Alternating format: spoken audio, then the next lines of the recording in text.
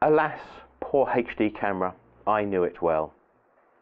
Like it or not, but 4K will become the new standard for video in the coming years.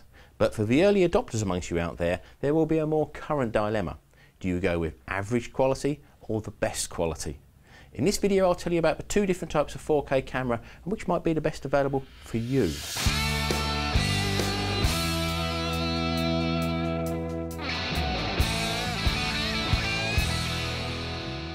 Now, unless you've been living under a rock for the last year or more, you'll have heard about 4K, or its near equivalent of UHD, which is exactly double the size of HD, although most people call them both 4K. The main reason why you'd want to upgrade from HD to 4K is because of the higher resolution and the quality this brings, even if the final result is only going to be shown in HD.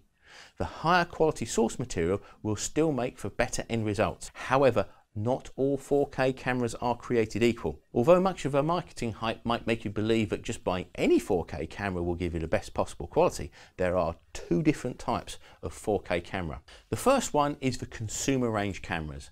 These will be the replacement for the HD camcorders and smartphones we have now. They're going to be 4K or UHD resolution, but they will still be using video compression like H.264 or H.265 when it becomes more widely adopted, and chroma subsampling of 420, which makes use of just one quarter of the amount of colour information that is picked up from a camera's image sensor. Cameras like this currently include the Panasonic Lumix GH4, the Sony FDR AX100 and a soon to be released Samsung S5 smartphone. In the future, most 4K cameras will fall into this consumer range bracket. If you're shooting normal scenes and you're not going to be having much in the way of post-processing, colorizing, shooting for green screen or visual effects, then these 4K consumer video cameras or smartphones are not only cheaper, but will also give you an excellent high-res output. The problem is with the compressed output. Now, whilst it reduces the file size dramatically, it also cuts out the fine detail in the image. And this is why many of us want 4K in the first place. You can think of video compression like the tone control on a hi-fi system. The more you turn down the treble, the more the fine details in the high frequencies are lost. This is the same for video footage. The more compression that is applied, the smaller the file sizes become. But the more of the fine details are lost and the clarity of the image reduces. With the current capacity of SD cards and internal memory in tablets and smartphones, this is essential because without compression, the file sizes created by 4K are huge, easily running into many gigabytes of data per minute of recording time. This could fill 64 gig of memory, for example, typically most top-end tablets and camera cards, in 10 minutes or less. To the human eye, the compression may be barely noticeable, but when you're doing things like chroma key or visual effects, you're working on a per pixel level, which you may not see, but things like chroma key software certainly will see. If you use a 4K camera with a compressed video out, you're not going to be getting the full quality. In fact, you'll have to downscale it to HD to get rid of most of the effects of the compression and the chroma subsampling. So in reality, when you've downscaled your 4K compressed output to HD, it will only produce a similar quality to that of a normal HD camera that has an uncompressed video output, like a Blackmagic Pocket Cinema camera, for example. This is why if you want the best output for post-processing or VFX work, you're going to need the other type of 4K video camera. This is at the moment the semi-pro 4K video cameras that can output 4K in an uncompressed format like ProRes 444, 422 or Cinema DNG RAW.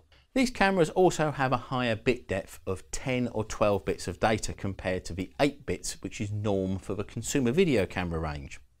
This gives you a much better gradation from light to dark as you have 4096 levels for each colour in 12-bit and 1024 levels for 10-bit.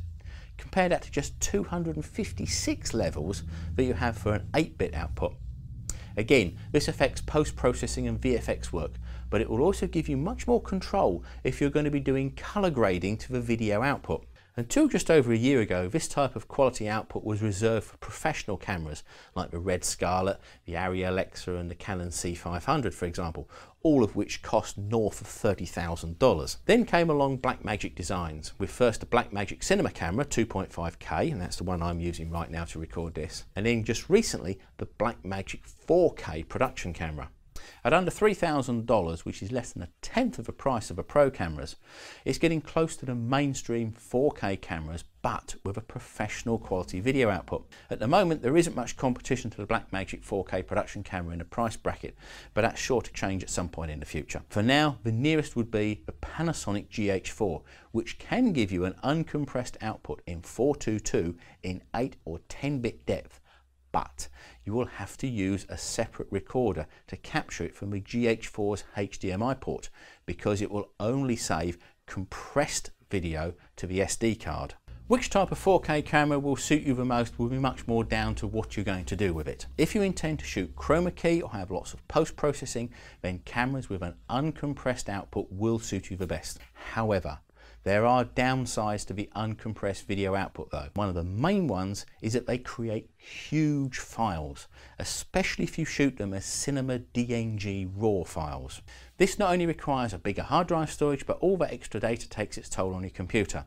You'll need a powerful CPU with lots of RAM in order to apply effects like chroma key to uncompressed video. Rendering them with an alpha channel for editing later takes much longer than the smaller but lower quality compressed H.264 files. So yes, while we're getting 4K, it comes with compromises. Until someone makes a camera that combines the lower cost and ease of use of the consumer range and has the option of the uncompressed high bit depth output of say a Blackmagic 4K production camera, we're going to have to choose between two camera types or buy two cameras. Are you facing this dilemma with your potential 4K camera setup? If so, let me know what you're looking to do in the comments below. And if you like this video and found it useful, then please give it the thumbs up. And don't forget to share and subscribe. And you can hop on over to video-alchemy.com and join our free newsletter. So, my name's Paul Shillito and this has been a Video Alchemy production. So hope to see you in the next video. Bye!